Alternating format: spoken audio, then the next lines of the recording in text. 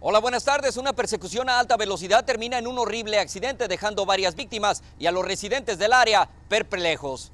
Fueron momentos de terror cuando las calles de la ciudad de West Hollywood eran testigos de un horrendo accidente, el cual se originara según las autoridades luego de que comenzara una persecución de un sospechoso de haber robado un auto.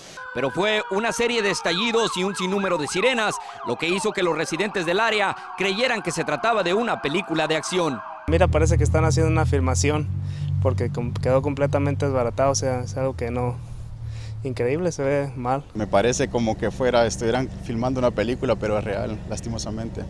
Según el reporte del alguacil, fueron dos personas las que quedaron en condición crítica. Uno de ellos, el sospechoso de haber robado este auto en llamas, y el cual terminó en dos pedazos, con una parte incrustada entre dos paredes, y después de haberse impactado contra un semáforo y otros tres coches, pero sorprendentemente quedando aún con vida.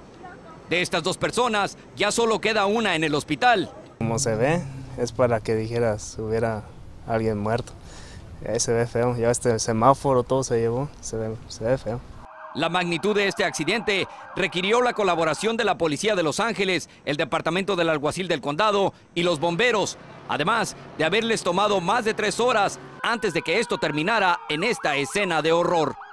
Cabe remarcar también que las autoridades nos comentaron que la persecución terminó en la carretera después de que una patrulla se accidentara. En West Hollywood, José Ábalos, Noticias 62, tu ciudad, tu equipo.